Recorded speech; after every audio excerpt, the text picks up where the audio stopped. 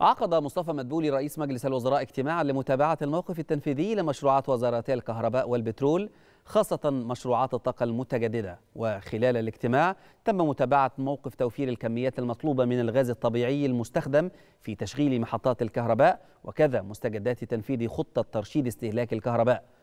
كما تناول الاجتماع موقف مشروعات طاقة الرياح والطاقة الشمسية وجهود التوسع في تصنيع مختلف مكونات تشغيل تلك المشروعات.